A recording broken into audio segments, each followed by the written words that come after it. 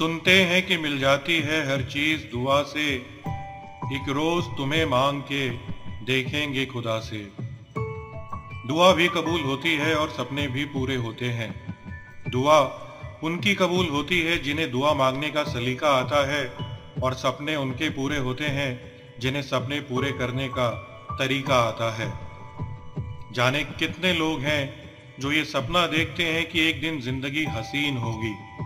जाने कितने लोग हैं जो ये सपना देखते हैं कि एक दिन ज़िंदगी में हर खुशी होगी, एक दिन ज़िंदगी में हर वो चीज़ होगी जो हमने चाही है। और ज़रूरी भी है सपने देखना।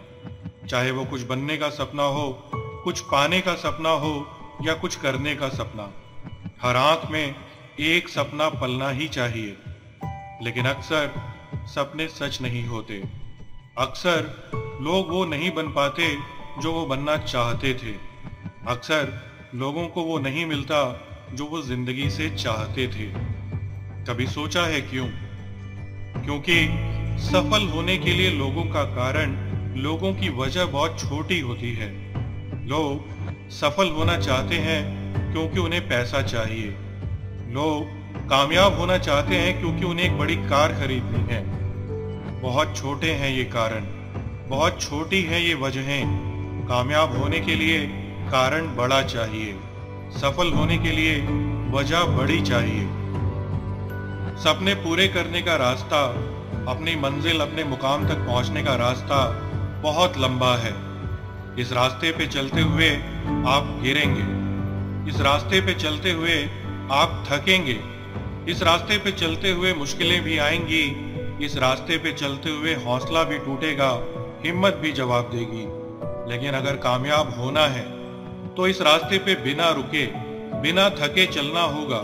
गिरे तो गिर के उठना होगा, मुश्किलों का सामना करना होगा, हौसला और हिम्मत बनाए रखनी होगी। लेकिन लोग लोग यही नहीं कर पाते। लोग बहुत जल्दी थक जाते हैं, हार जाते हैं और छोड़ देते हैं कोशिश करना। पता है क्यों?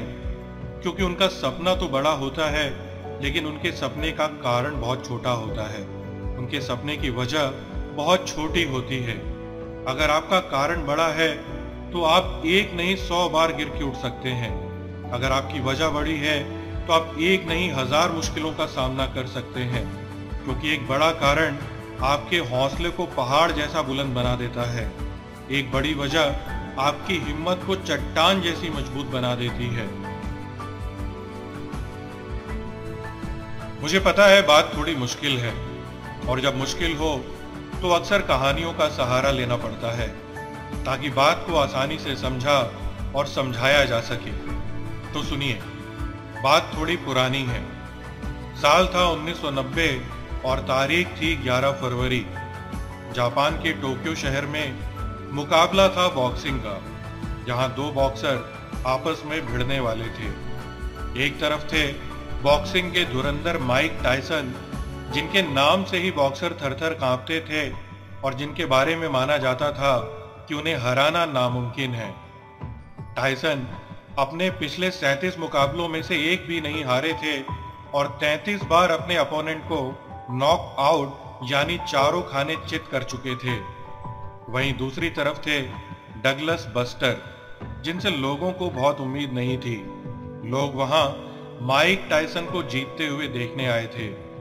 लेकिन उस दिन उस दिन तो जैसे डगलस ने कसम खाई थी कि वो हारेंगे नहीं।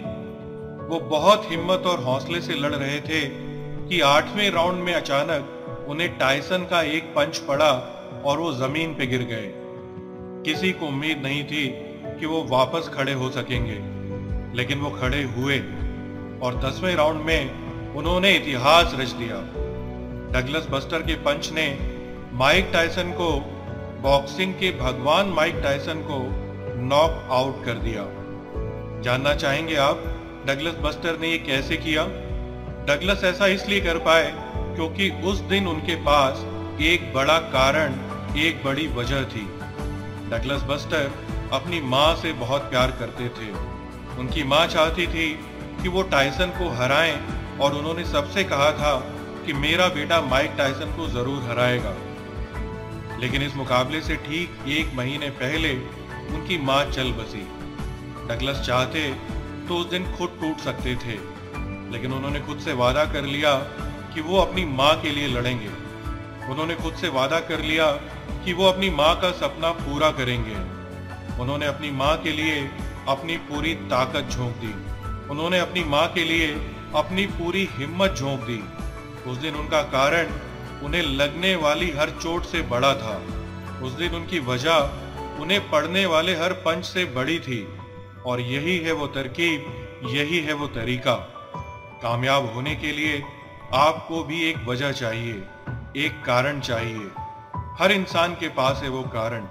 ज़रूरत है उसे पहचानने की।